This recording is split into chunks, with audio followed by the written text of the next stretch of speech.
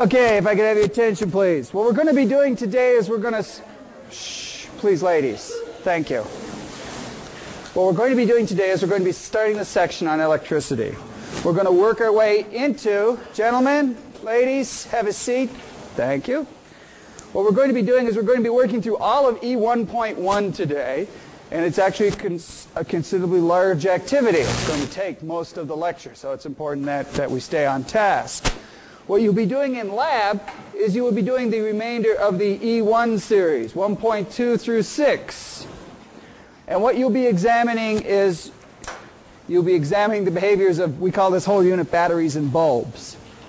Okay, so you'll be playing with batteries and bulbs, pieces of wire, trying to figure out what's going on, developing a whole series of rules, and perceiving the regularities, identifying and discussing the regularities, and developing yourselves a set of rules to describe the behaviors of very simple, what we call simple electric circuits. Okay, and that's what you will be doing in lab this week, in class today, and we may require part of class on Tuesday to finish it up. Okay, that's our first examination of electricity. We'll go on to look at other kinds of electricity. We'll look a little bit at static electricity. We'll be looking a little bit at magnetics, electromagnetics. Okay, but in order to start all this, we start off with a very simple but very profound series of activities called batteries and bulbs. It turns out that there's some very basic phenomenon that you have to wrestle with that are not trivial.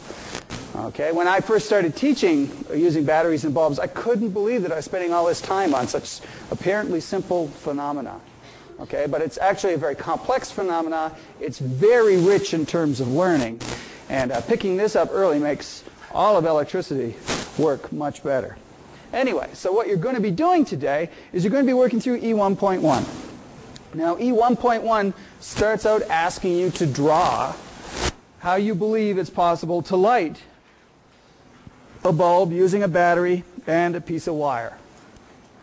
What you're going to do is you're going to draw that, you're going to discuss it, you're going to refine your drawings, and once you have drawings and a written description of how it's going to work and, and how you're going to make it go, once you've got that prediction, you're going to show it to me, and I will give you a battery and a bulb and a piece of wire.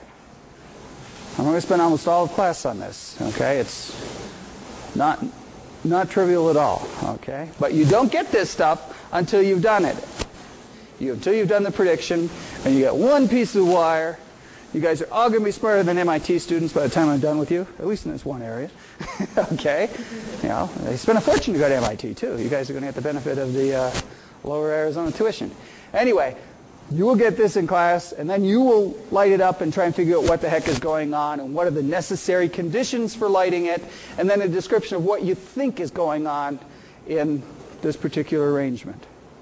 Okay? And I will be going around talking to the groups. So, uh, the bit ends on the bottom. Really? Okay.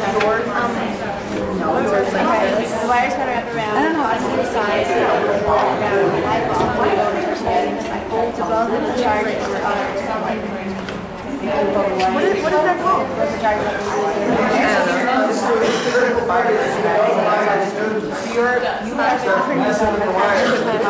I think that makes sense.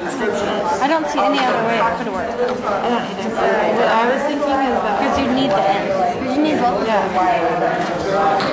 Okay, so you're both having a touch. I didn't know it. Yeah, you were certain. Okay, well.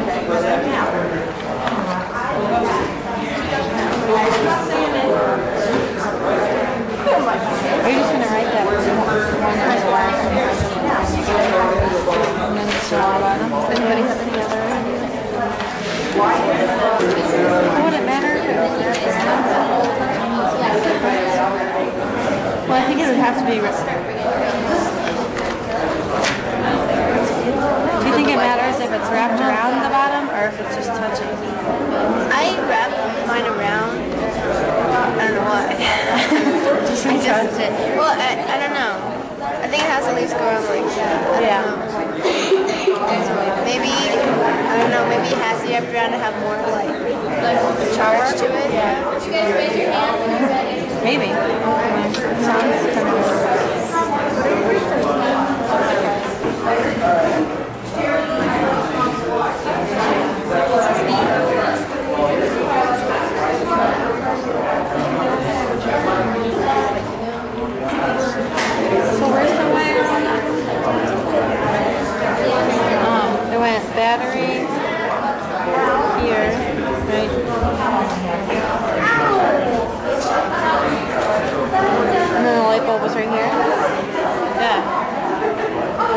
the wire. And then it's just connected. It just touches like the bottom. The wire goes here to here still? Yeah, because that's. I don't know, would it? No. That wouldn't have anything to do with it. You never know. I don't know. I mean, it's an idea. So it goes like that. And you could do it on the other side too. Around. Yeah, like put the bulb on the negative side. Yeah, that could work too.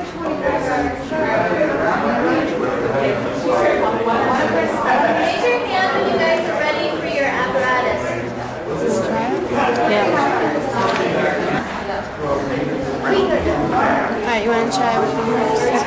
Okay. You want to try the first one? Yeah. It only has two ends though. Oh, not opening. So maybe the Maybe if we just have it touch it. yeah. Like wrap it around. Make it touch those two. Make it touch. I don't know how to. Or you could even just have it touching. I think. Yeah. I think we can. So we had it. I don't remember how we did. This touching and then that touching, but this was Oh yeah. But then the. We can't wrap it around though, you know? Because it's not like there's nothing going from this to the bowl, you know?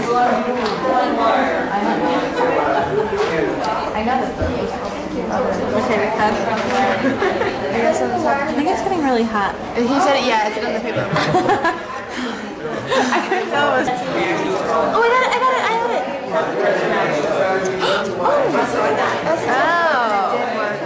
So the negative. Oh, I got it. All right, so we did on the Here, I'll hold one. You hold the other. one. What's that? You just gotta touch that. But oh, here's the Touch the metal and there.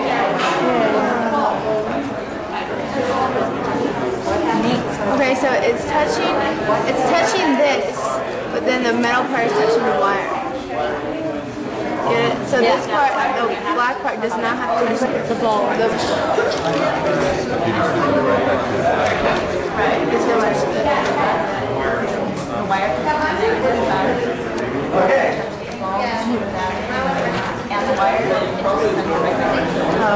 oh.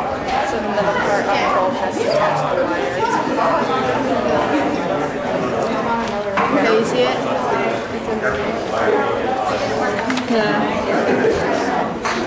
The best part about growing up is, of course, you're allowed to break things and no one can make you put them back together again, right? It's, it's great. I always tell the kids that. I envy you for growing up. So you break your bulb.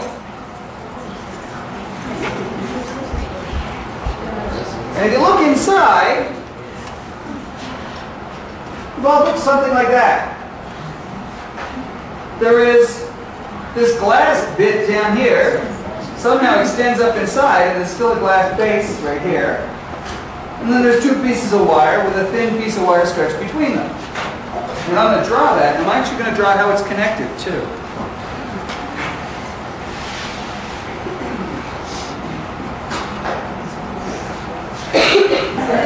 I think it's because like this, like what? No. Say here's your battery, right? Okay, so say, say it comes from here, touches the side, and then since we can't really reach it, we'll just use two wires.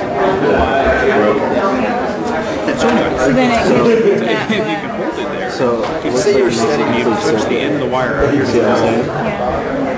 Like it comes from here, Uh, let me to here, from here it goes to here, side here, bulb here. Touches the end there. The wire. So long as, as it's, there's a complete circle. I guess that's why they call it a wire. Like, So maybe you insert all the middle and that's like I don't know. I think probably what you said was probably best.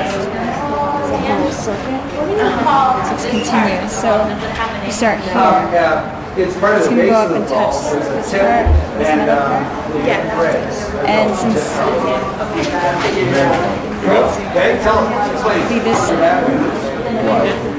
how see how I drew it right here? It's kind of like easier to see because like, like, this is how this is how it works. It's- Can I see it? Well, that's What's your idea there? What? Put my idea down. Yes, you're one. and your bulb so that part of the loop is the filament and part of the loop is the battery. Any arrangement, whether it's with two wires, three wires, nine wires, one wire, if you use, I use the back of the scribbler for a wire up here, it's just got to have this closed path. Now, some of you have been asking me some questions about the light bulb itself. What happens here is this wire is incredibly fine. It's much finer than the hair on your head. Okay, and they're going around to look at. But what happens is in order to, to pass current or energy or electrons, and we're going to get into all those things, but in order for electricity to move through that, it's squeezed down quite narrow. Okay? And when that happens, this thing gets white hot. They got thin filaments in your toaster made of a different metal. They go red hot. You think of an electric range, the top of your range goes red hot. Okay? Somehow when electricity is made to squeeze through spaces, and we will develop these ideas, you can get this heat out of the situation. Now, inside a bulb it gets extremely hot. It's around 5,000 degrees Celsius. Okay? It's one of the hottest phenomena you'll ever co- encounter in your everyday life, unless you weld. If you weld, you can get higher temperatures. Okay? And what happens is inside this thing, there's a gas that's spilled in the, in the um, bulb itself, mostly to keep oxygen away. Metal, in the presence of oxygen, it would immediately corrode into rust and all drop away. Okay, so be, you know, this, this would be all over in, in, in a quick flash if this bulb here were shattered or broken in any way. And if you ever break a bulb, say a headlamp on your car, it'll go really yellow. That's because the filament inside is oxidizing.